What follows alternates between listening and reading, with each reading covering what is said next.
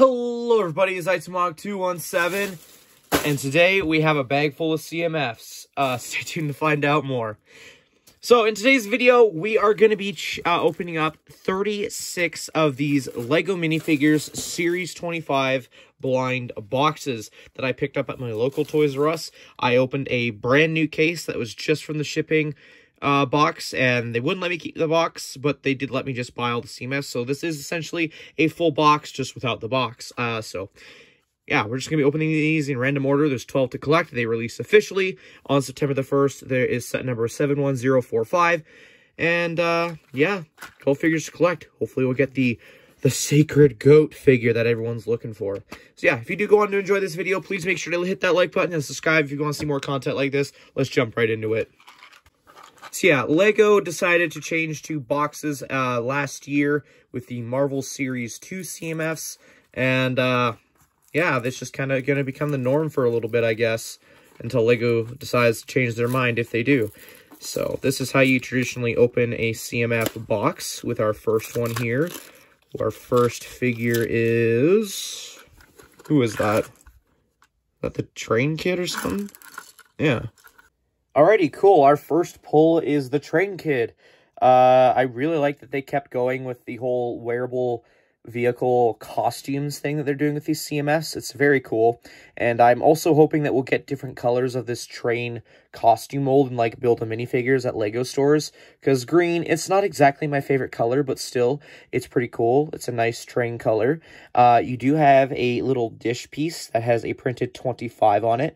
And you do get some extras uh, when you even get an extra one of those, so and if you want to make a little train mock or something, you can with that. But uh, yeah, uh, this has some pieces to it, so let's separate the two so that we can have a better look at both of these. Even now that we've removed the train little thing, you can see they are on some skateboard wheels, so you can move it back and forth. And uh, it's just the two clip attachments, as the third wheel is not actually a wheel. It's just kind of molded on there. You can kind of see there's a bit of a size difference. It's a little smaller. That's fine. Uh, you also have a brick-built smokestack, as well as a tile at the top here. Again, would be really cool to get this in another color, in a BAM uh, wall or something like that, but overall, this is cool. I like this. I like this little trend of little wearable costumes. Taking a closer look at the actual minifigure, though, he's got like a little train conductor kind of outfit going on, or just a steam engine guy. Again, I don't know much about trains. Feel free to correct me in the comment section down below what this guy looks like, but it's definitely a train-looking attire. Uh, he reuses the Newspaper Boys cap piece in a sand blue, which is nice. And uh, removing that, you can take a better look at the facial print, which uh, he's wearing some glasses and has an eye patch. Not something I didn't know existed out in the world, but it's still kind of cool now that I see it in person. Like a glasses and an eye patch, I don't know, there's something cool about it to me, just how that looks. So I like that. That's cool. No actual accessories, unfortunately, but that's fine. With this little piece, it's cool enough. So let's move on to our next pack. Alrighty, second pack. Hopefully, no duplicates. Uh, again, it's very possible. Full box is 36 packs, like we're opening up today. So we will get some extra. Oh my goodness, second pack. How about that? We got it, guys. It's the GOAT. We did it. Pack it up. We're heading home. Alrighty, here it is. The GOAT the one minifigure everyone is going to be going nuts for with this series. You have the Goat Herd figure uh, with the first time for in like years. I don't actually know what set specifically this came in. I know that the original Goat was different, had some spots on it, and the Goat was like going for like a $100 before this was even revealed as a thing. Like that was the peak price. I think this is like a whole new mold because I think I read an article somewhere that the goat mold is actually lighter than the older one a little bit, as well as the fact it doesn't have the spots on it, which is okay. Got to keep the original exclusive to some degree, and that's fine. But I think people just really like the goat, and honestly, it's cool. I like it. It's a nice little goat thing, and I can definitely see a lot of people who have farms or whatever wanting to get this figure specifically just for that. It's something so silly, but it's also understandable why this is so desirable. It's funny. As for the Goat Herder minifigure, uh, he has some nice detailing. Definitely castle era. Uh, so he has dual molded legs with a little uh, little pouch print on it right there, as well as a little patch uh, print on the arm. That's nice. He's got a little walking stick. I'm not quite sure what this circular tile is meant to represent. I'm thinking a cookie or something like that. Maybe some seeds. I don't know. That's just my initial thoughts. He does have a little backpack piece that you can probably put that piece in. I don't know what it's for, but whatever. But he does have a double-sided facial expression as well as some back torso printing, which can be revealed when you remove the hood piece. And there it is. Nice. Nice little alternate facial expression and back torso print. Not not at all that bad of a minifigure, all things considered. Uh, but yeah, this is this is definitely a desirable animal figure, and what better way than in a blind box series. Cool. All right, let's see what else this series has to offer. Okay, third pack. I guess one figure I'm really hoping to get as well is the detective, the classic detective. Oh. I guess we'll get in our next pack. We have the Mushroom Kid. See here we have the Mushroom Sprite. I guess that's the official name for that. Uh, only real new pieces with this figure are, I'm assuming, the butterfly print, which honestly looks really cool. Like, when I first saw this, I just saw it on the backside, and I was like, uh, but then when I turned it over and saw the beautiful colors on the butterfly, wow, that's really cool. But yeah, you have a new uh, hat molded piece of a mushroom cap. It's kind of well executed, and you do have a little hole at the top there if you want to add like a feather piece or something like that. So that's cool. Torso's kind of bland, uh, but I get it. Mushroom has like a white stem of sorts, and then it's just the top. But yeah, and then there is actually dual molded legs on this figure uh, with underneath that skirt piece. So dual molded small legs with white. It's okay. It's kind of an okay figure. Not my favorite, but yeah, let's move on to the next one, I guess, since it's okay. Fourth pack, we're looking for that detective now. That is the mystery, is which one will have the detective. Not this one. This one is some weird creature. So for our fourth minifigure, you have what's called a harpy. I had to actually look up what the heck a harpy was, and according to Google, it is in Greek and Roman mythology, a harpy is half human, half bird, often believed to be a personification of storm winds. So cool. Uh, image on screen, I guess, of what a harpy looks like, uh, maybe. So cool. Uh, definitely an out there type of minifigure. Has some cool wing pieces uh, and some claws. And I definitely like the use of the uh, least this particular leg piece in dark blue with some claws on the, printed on the bottom there. Uh, I'm not quite sure where this hairpiece is from off the top of my head, but it is familiar. And it is cool we get it in a purple. I always like when we get hair pieces in a odd color. Removing the wings, of course, allows you to be able to see the back torso print. And yeah, definitely a lot of bird-like features with this figure. But yeah, it's definitely one that's okay. It's kind of cool, I guess. And uh, there is an extra piece of a claw for those wondering. Yeah. Not much to say about this figure. Let's move on to our next pack. Pack number five. We're making decent progress so far. No extras yet. Ah, I jinxed myself. That's an extra train one. Okay. Pack six. Not even going to say anything. Just, we're hoping for a minifigure. Ooh, what are you? You look like a castle-themed character. So here we have what's called the Vampire Knight. Honestly, this is a really cool figure. The only nitpick I guess I really have is the cape. It's a construction paper material that does come packaged separately in a little cardboard sleeve that's inside the CMF box. And uh, I'm not a huge fan of these material capes, but I get it why it's cardboard construction paper fabric, whatever, because it is red on the inside and then gray on the outside with that weird, cool design of a bat logo, which is the same as the Fright Knight CMF's Night uh, shield, which apparently they're the same faction, but this one's a more uh, classic homage to the original thing it's based on, which is uh, image thrown on screen, I guess, to what the original looks like, which is called the Fright Knights Bat Lord.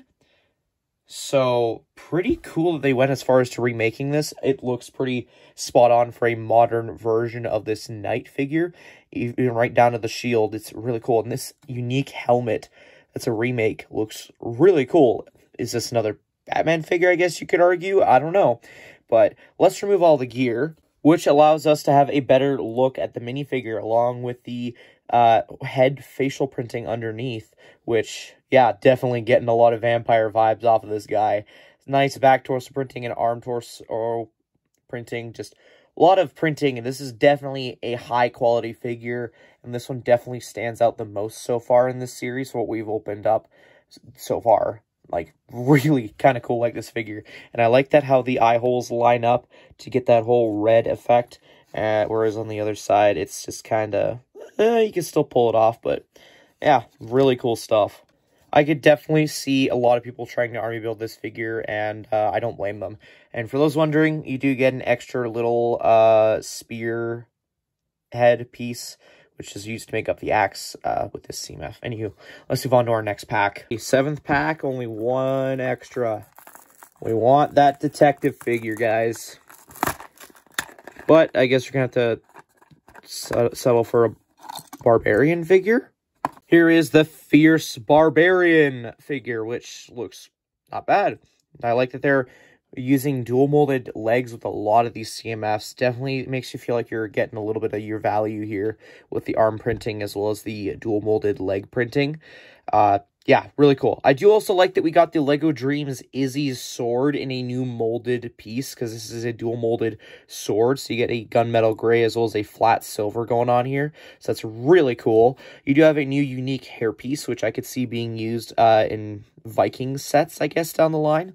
Uh, removing the hairpiece, you can see that the figure does have a double-sided facial expression as well as some back torso printing.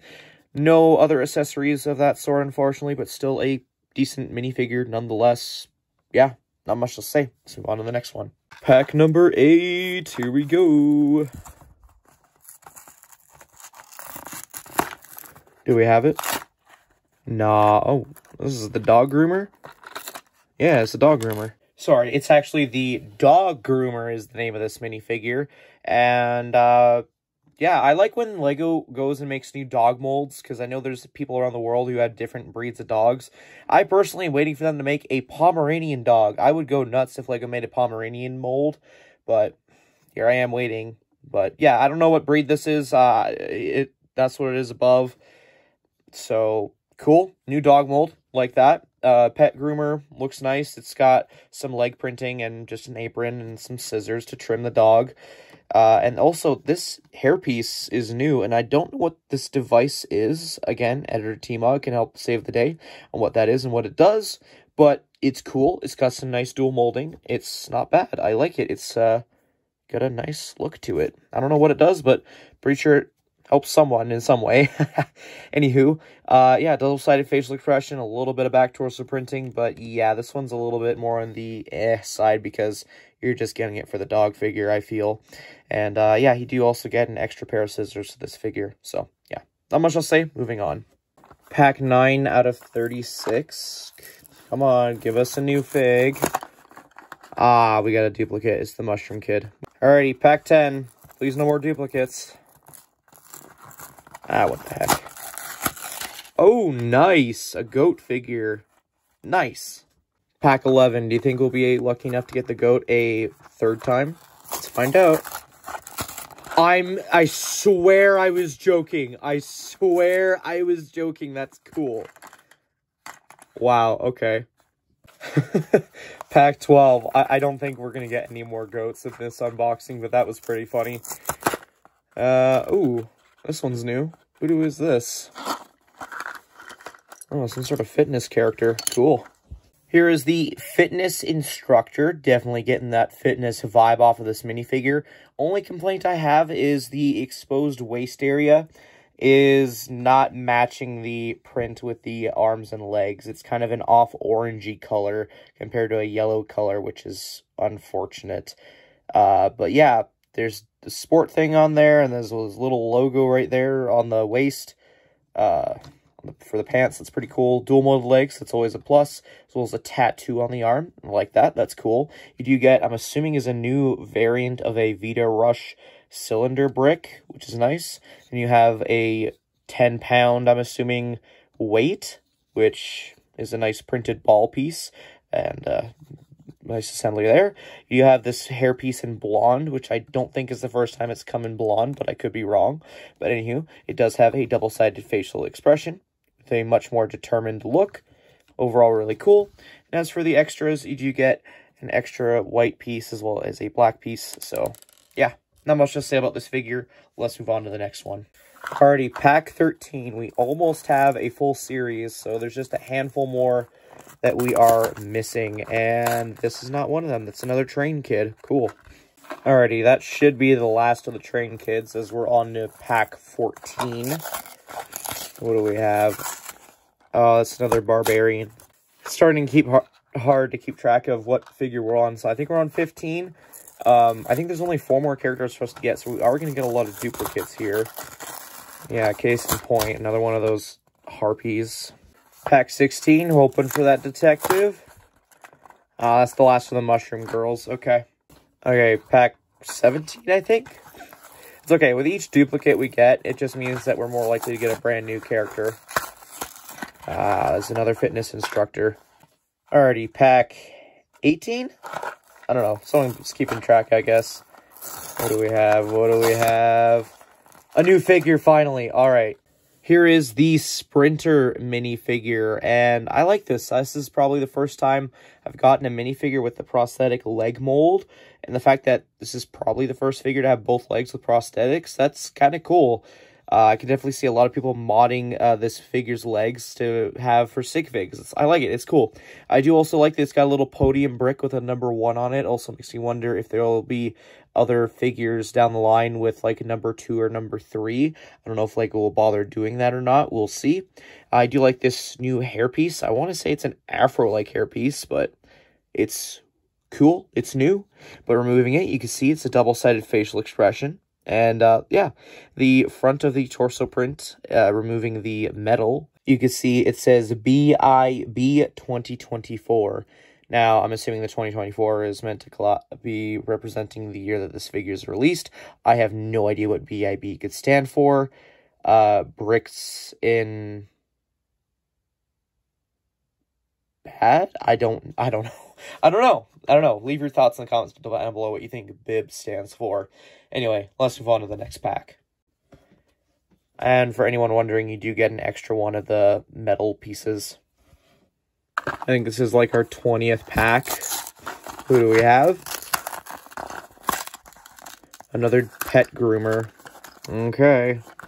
Pack 20. We still got three more figures left to go. Oh, that's the last pet groomer. All right, no more extras for that one. 21st pack. Here's hoping we're getting lucky. Ooh, this one's new. It's like a video game character. Here we have the esports gamer uh, figure, which, yeah, okay. I can get behind the esports gamer figure. Only complaint is you have a colorful mouse and keyboard, but no monitor. Like, not even a monitor build could have been squeezed into this build. Like, yay, we get a trophy, but honestly, get rid of the trophy. Give me a monitor. How the heck is this esports gamer going to compete if they don't have a monitor? Like, I guess this facial expression they have on currently means that they could be playing blind. I don't know.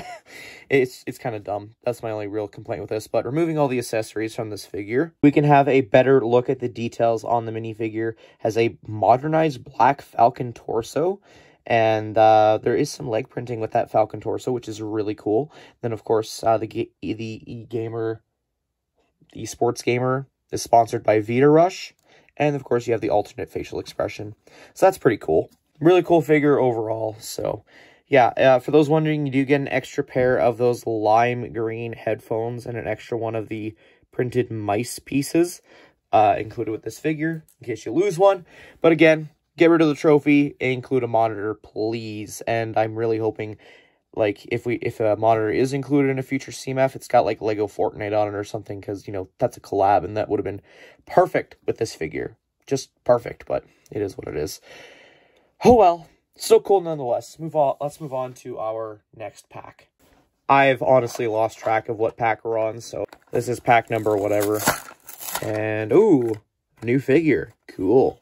Here is the Triceratops costume fan. This is a nice figure to get a year later because last year we got the T-Rex costume fan, and I really hope this is like a continuous thing where they release one dinosaur character every CMF series every year. Like, that's really cool. It reuses uh, the same tail piece, but in a olive green with some printing on it. Not bad. I can't complain about that. You do have some nice arm printing and a unique helmet of a Triceratops. That's really cool. But removing it, you can see the facial expression of how happy he is to be a Triceratops and just how smug he is that he's got the best Triceratops costume around. Yeah, I don't know. I don't know what else you could have included with this figure. It's, it's really cool. Anyway, let's move on to our next pack. Okay, I think it's literally down to just the private detective is our last figure. So let's just try and speedrun this. All right, we got another Olympic figure. Cool. Come on, private detective. Come on. Maybe. Maybe. Come on. Give me a reveal. Yay! We got him. So here we have the final minifigure in this series, the Film Noir Detective.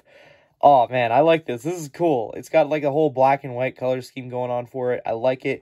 You do have a magnifying glass that actually magnifies. I love that piece. It's so cool. And then a quite literal red herring uh, with a red fish piece. Nice. Uh, dual molded printing on uh, legs there. That's not bad. Uh, you do have a construction paper fabric material piece in that goes in between the head and the torso that helps add more to the trench coat. And for the first time ever, I believe, you get a new hat piece, like a fedora, I think is what it's called. And uh, that is very difficult to put on. Uh, I had I struggled putting it on, but hey, it is tipped downwards, so it has that little mysterious look to him. Now, if you don't know, uh, there was also another version of a detective given in the Lego Ninjago City Market set, which is Detective Zane. And seeing these two together is so awesome. My goodness, these are the best duo. Like, they're both trying to solve the case of something. Anywho, yeah, let's open up the rest of the packs now that we have the full complete series. So from this point on, there are going to be nothing but duplicates, and we're just going to see if we do get three sets of each, technically. That's what the rest of this video is going to be. So we have one more of the Gamer Girl. Then we have another of the Barbarian Girl. A third and final Eat Gamer Girl. Nice.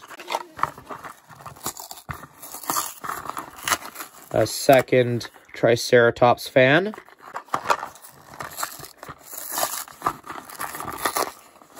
Uh, last copy of the uh, Runner. I think this one's another private detective. Nice. The film noir detective, whatever.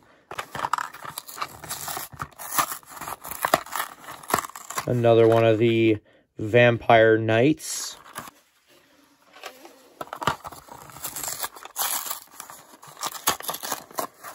Another one of those harpies. Is that what it was called? I can't remember.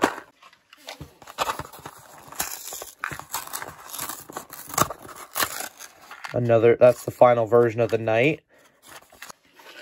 What are we missing? Like uh, another knight and fitness instructor and Triceratops as well as a detective. Okay, that's the final fitness instructor. Which means we should just have a Triceratops and detective left. Yep, there's the last Triceratops. Alrighty, moment of truth. If, we, if a full box gives you three full sets of CMFs, because this last one should be a private detective. And we got three full sets of CMFs. Neato. Let's have a look at the paper that's included with every CMF and move on from there. So having a look at the little pamphlet that's included in every CMF, it's just a checklist for every character. That is all 12 from the series. And on the back, it just tells you how to assemble each individual figure. Well, not each individual figure, just tells you how to assemble the Train Kid, the Vampire Knight, and the uh, I've already forgotten the name. It's just a, such a forgettable name for me. And then, of course, you have the QR code uh, for feedback. I really wish that this QR code would count towards VIP points, but alas, it is what it is. Yeah, you can fold it up with you if you want to take it with you on the go, I guess. Uh, again, outside these used to have a purpose, but now they kind of don't with them being in boxes. So, yay, let them club up your desk, I guess. Anywho, let's move on. Overall, for a collectible minifigures line for 2024, I think that this is a very excellent selection. The only minifigures I think that I could honestly live without that are just odd selections are the Mushroom Kid and the winged one. I can't I can't remember the name for it. I, I just it's such a weird character. I just can't be bothered to remember the name for it. The rest are pretty solid overall. Uh, again, only nitpick with a figure I actually like is the Gamer Girl not having a monitor to play games on. It just, oh, yeah. Great army building opportunities here with the Vampire Knight and the GOAT. Uh, definitely the GOAT is the highlight of this series. A lot of people are going to be wanting to, to uh, buy these packs just to get their hands on the GOAT figure. Well, myself included. So, yeah, and I really like this Train Kid. I definitely like it. Again, wish it will come in a different color because, again, green is not my favorite. But, yeah, anywho. Uh, in terms of if you guys should pick up these packs, uh, I'd say they're, again, they're all solid figures and for what you're paying, uh, they seem pretty fair nowadays. Like that's they're, they're definitely getting your money's worth for a good majority of these. There's something more or less that's like unique, and the the, the inclusion of dual molded legs definitely helps with adding value because dual molded legs normally come in more expensive sets and figures. So, yeah, I liked it definitely recommend picking up this series. If you're debating on it, go for it. Give it a try and hope you get the figure you're looking for. Speaking of, let me know your thoughts in the comment section down below of which is your favorite figure. I'd like to hear you guys' thoughts. Anyways, that concludes today's review. Please hit that like button again if you did enjoy. It'd be very much appreciated. And subscribe if you want to see more unboxings like this. Anyway, thank you everyone so much for watching, and I'll see you all in a future video. Until then, I'll see you later. Bye-bye.